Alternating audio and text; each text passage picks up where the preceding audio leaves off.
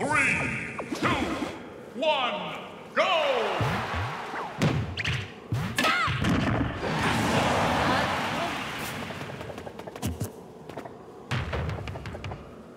Game!